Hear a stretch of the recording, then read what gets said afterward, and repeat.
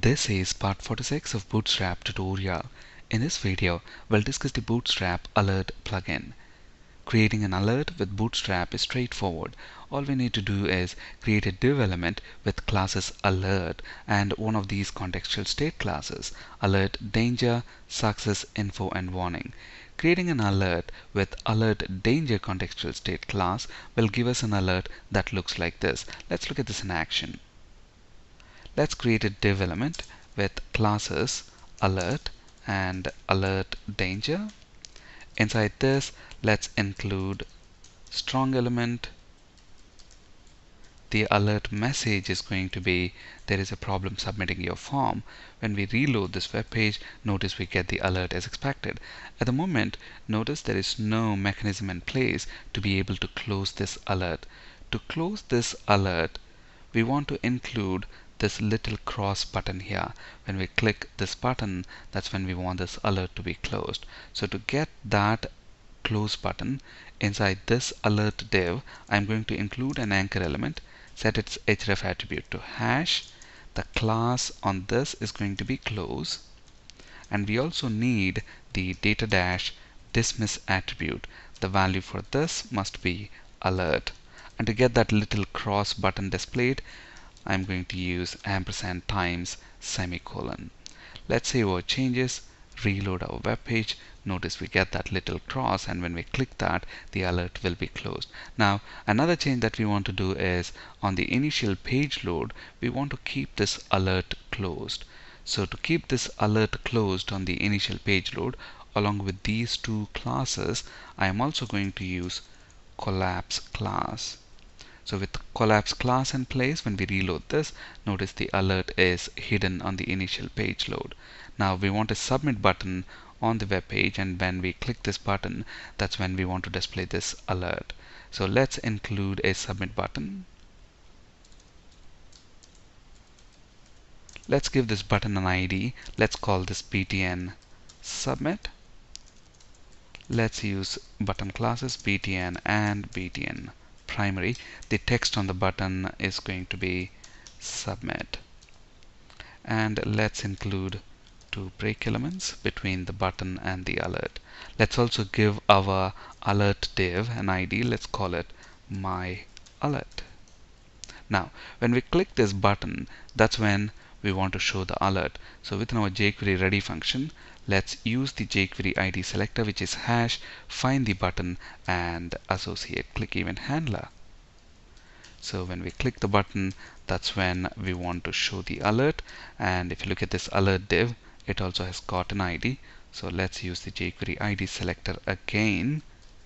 Find the alert and then call on that show method. Now we want to animate the alert while showing it. We want that to be slowly fading in. So I'm also going to pass fade string to the show method.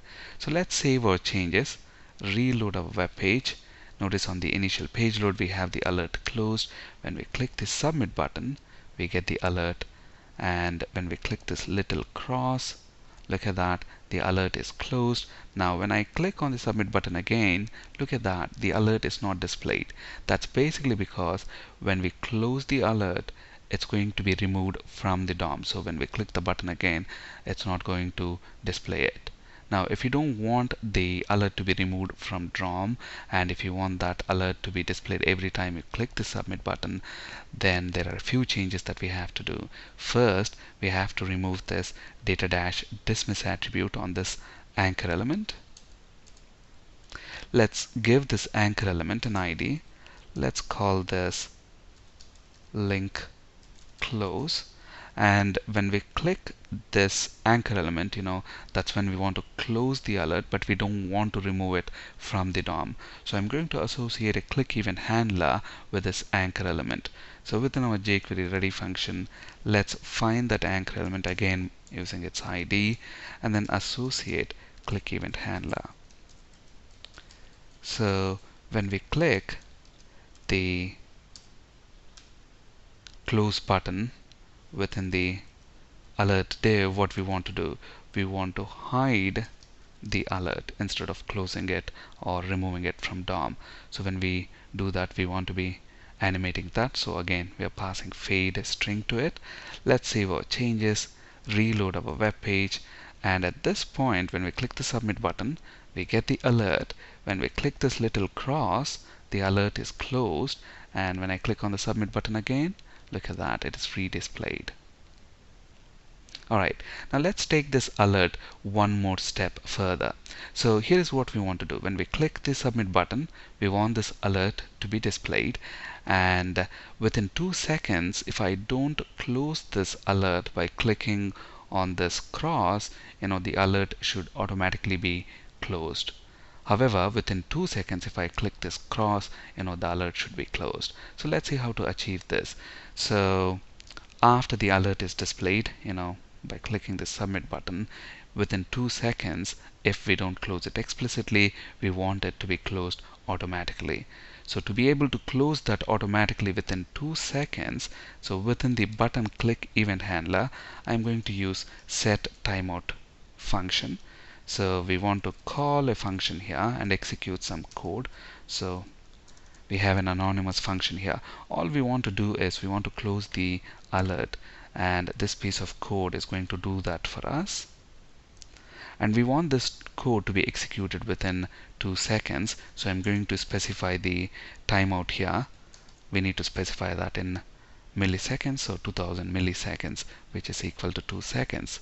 So with this change in place let's reload our page and look at this. When I click the submit button we get the alert within two seconds. If I don't close it explicitly it's automatically closed. However within two seconds if I click this the alert is again dismissed as expected. Thank you for listening and have a great day.